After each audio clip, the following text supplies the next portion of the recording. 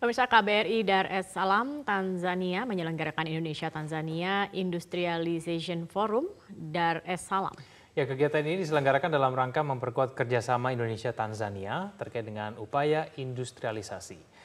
Menteri Negara Urusan Investasi Tanzania Hon Angela Mbelwa Kairuku hadir sebagai tamu kehormatan. Hadir juga pada forum tersebut Hon Philip Manggula, Wakil Ketua Partai Chamacha Mapinduzi yang merupakan partai berkuasa di Tanzania. Serta Zachi Mbena, Direktur Tanzania Private Sector Foundation atau TPSF. Duta Besar Republik Indonesia Dar es Salaam, Ratlan Pardede dalam sambutannya menyebutkan Forum ini merupakan yang pertama kali diselenggarakan sejak dimulainya hubungan diplomatik Indonesia dan Tanzania.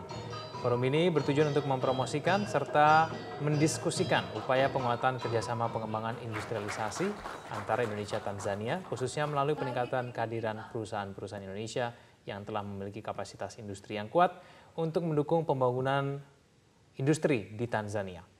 Pertemuan ini dihadiri oleh sekitar 22 delegasi dari Indonesia yang terdiri dari 10 perusahaan serta lebih dari 50 pengusaha Tanzania.